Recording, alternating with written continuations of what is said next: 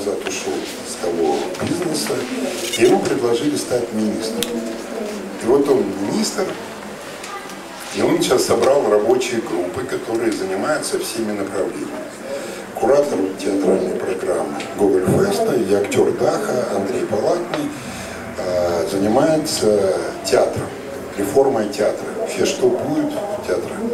И разрабатывается вот эта концепция, которую мы предложили, именно сеть этих культурных центров по стране, которые формируют новую культурную парадигму не, не пытаясь трогать государственные старые, нет. Причем не самоокупаемость. Еще раз, смотрите, вот, кстати, вот интересный вопрос, я хочу сейчас вот на вас протестировать. Вот культура, вы когда-нибудь задумывались о том, э, ну вот, вы все же платите какие-нибудь налоги?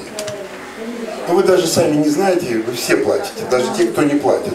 Когда вы покупаете, вы платите НДС чтобы знали, все равно плательщики налогов, так? И какие-то деньги выделяются на культуру. Вы знаете, да? Деньги выделяются. Не, они большие.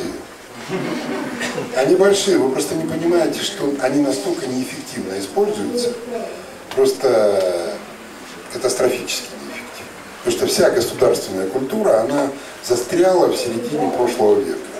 Вся, без исключения но может быть там 3% живых. Все остальное это все равно такое стар, старая история. И они не хотят меняться. Но там целая куча людей, которые чем-то там занимаются. Причем их нельзя обвинять, но они там работают, живут и говорят, думают, что но, но я содержу, например, оперный театр в городе Киев. Знаете, сколько стоит оперный театр в городе Киев? год. А? Много.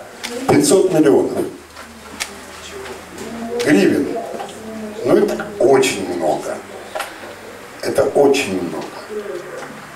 Понимаете, да, там, театр Франко, например, театр Франко, да, прекрасный театр Франко, даже то, что там руководит Дима Погомазов, все прекрасно, но вот будучи сейчас в театре Форсбюрна в Германии, в Берлине, там трупа 18 актеров.